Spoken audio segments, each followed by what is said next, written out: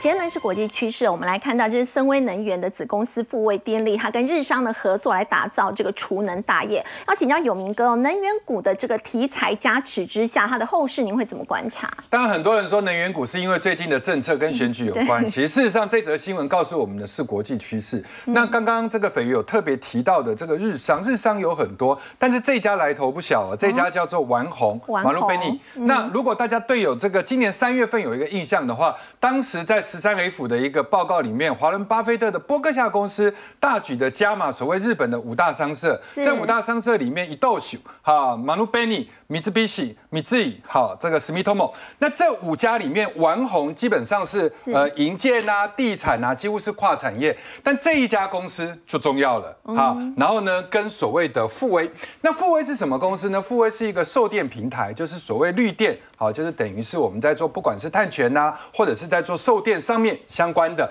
那它的一个子公司，因为它是这个深威的子公司，然后深威呢又是永威的子公司，永威又是正威的子公司，所以这个你也可以把它视为一个集团股来看待哈。那这个这个合作案的话，基本上是针对储能。那现在它也这边有在预估，未来二零二三年呢，现在今年的这个储能大概是一百亿左右的一个规模，二零二六年大概是倍增，到了二零三零年的时候，大概就要成长到两千亿，就是所谓的十倍数的一个成长。所以越到后面的话，其他的成长动能就越快。哈，那我们刚刚跟各位来讲一下这个集团内的一个关系，所以大家不要因为呃只是选举题材而去看它，事实上它可以跨到明年。好，选举之后，那这一波有一个比较奇特的现象，如果以这个同一个集团的三档个股为例的话，各位有没有发现这一波在开始的时候是永威投控先动？是，然后等到它动到这个位置的时候，它开始涨势稍微比较停顿了，但是就开始换正威在动。那正威涨到这里，到今天为止，其实它还在动，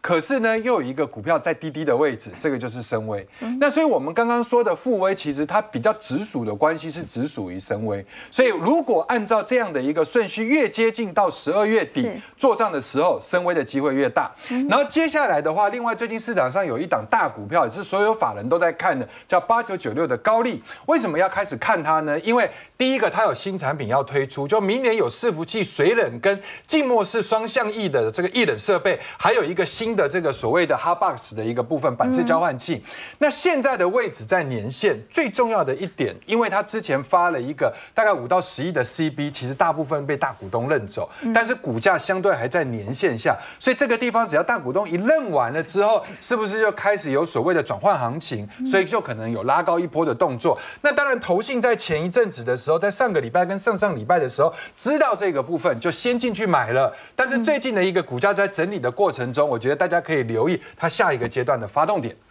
好，我们先休息一下，稍后来关心的是呢，红海集团旗下的封测厂讯星 KY 传出跟博通结盟，整个细光子概念股要怎么观察？我们先休息一下，稍后来关心。